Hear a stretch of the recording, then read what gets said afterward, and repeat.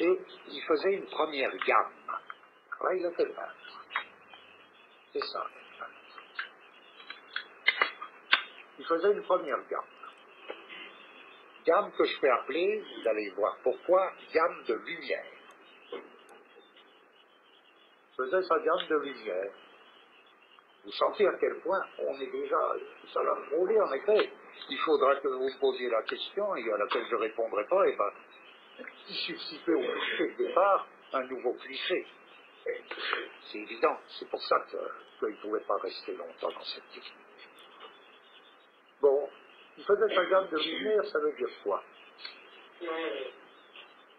Il avait la photo projetée et il peignait le tout en violet,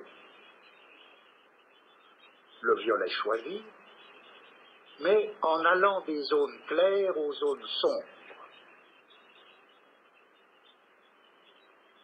Qu'est-ce que ça voulait dire au niveau de la peinture? Ça veut dire que pour les zones claires, il mélangeait son violet à du blanc. Ah, ça c'est un acte de peindre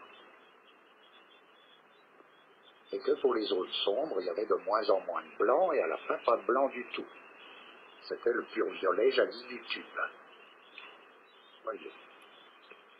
Il faisait donc une gamme de lumière, de luminosité,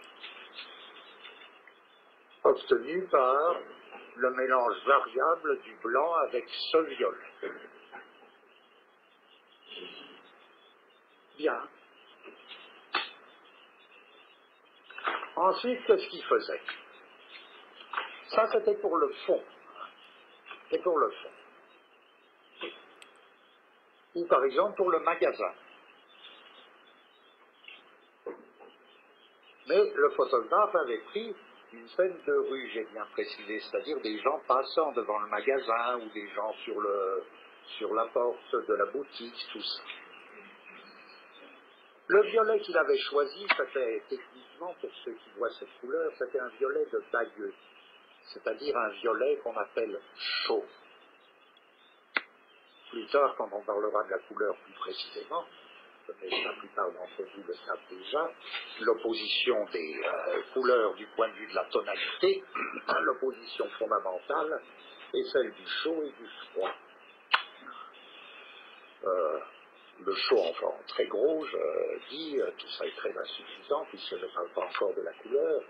Le chaud étant une espèce de définissant une couleur avec un vecteur d'expansion, de, mouvement d'expansion, le froid avec un mouvement de contraction. Dans les couleurs, euh, dans les couleurs élémentaires, le jaune est dit chaud, le bleu est dit froid. Alors, son violet de là, c'était un violet chaud. Là-dessus, il avait donc établi sa gamme de lumière. Il allait passer à une gamme de couleurs. Il faisait une gamme ascendante de lumière vers le violet Bayeux pur. Il allait faire maintenant une gamme de couleurs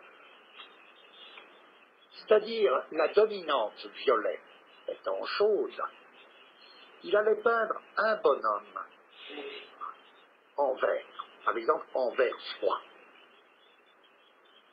Dans un vert froid, s'il y a des verts froids, le chaud et froid étant relatif et dépendant des, des. Il faisait un vert froid.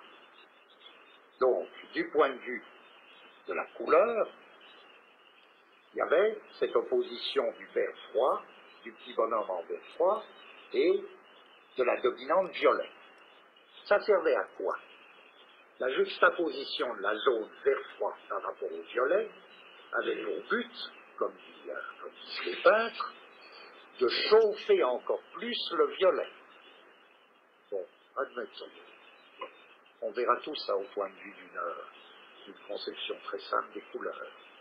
Euh, vous voyez, quand vous vous trouvez devant, par exemple, un tableau impressionniste, vous avez tout le temps ces choses, les rapports de complémentaires, les rapports de chaud et de froid, comment une couleur froide réchauffe encore, chauffe encore plus une couleur chaude, etc. Bon, donc le vert froid chauffait encore plus le violet. Bon. Mais par rapport au vert froid comme nouvel élément, qu'est-ce qu'il allait faire?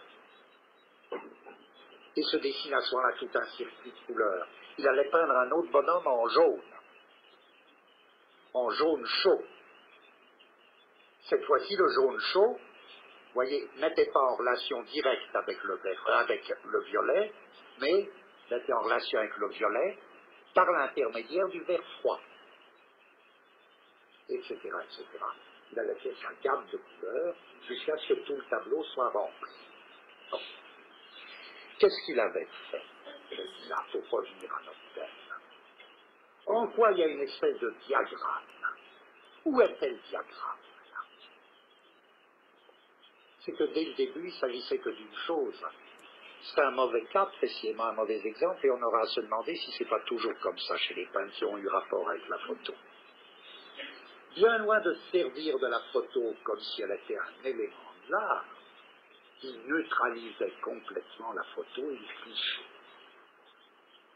Il neutralisait le cliché de telle manière, il le projetait sur sa toile, mais c'était tout à fait une manière de conjurer le cliché, beaucoup plus que de s'en servir puisque l'acte de peindre ne commençait qu'à partir du moment où la photo allait être annulée au profit d'une première gamme de lumière, d'une gamme ascendante de lumière et d'une gamme de couleurs.